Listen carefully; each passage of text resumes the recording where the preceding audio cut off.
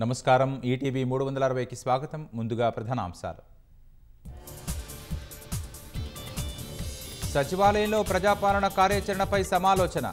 కొత్త పథకాలకు ఆదాయ మార్గాలపై సీఎం మంత్రుల మథనం. లోక్సభ నియోజకవర్గాలకు భాజపా ఇన్ఛార్జీల నియామకం. ఎమ్మెల్యే రాజాసింగ్కు హైదరాబాద్ పర్యవేక్షణ బాధ్యతలు. నల్గొండ మున్సిపల్ చైర్మన్ పీఠం కోల్పోయిన భారాస. అవిశ్వాసానికి అనుకూలంగా నలభై ఒకటి వ్యతిరేకంగా ఐదు ఓట్లు.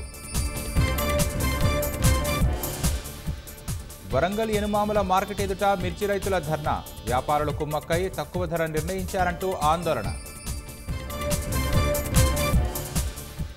టమాటా ట్రేల చాటున మూడు వందల కిలోల గంజాయి తరలింపు.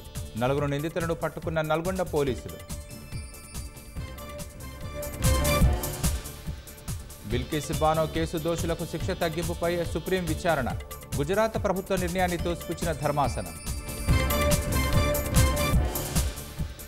మయన్మార్లో వైమానిక దాడుల్లో పదిహేడు మంది మృతి. ప్రజాస్వామ్య అనుకూలవాదుల లక్ష్యంగా సైన్యం దురాగతం. గాజా ఇజ్రాయెల్ యుద్ధం మరింత విస్తరించే అవకాశం.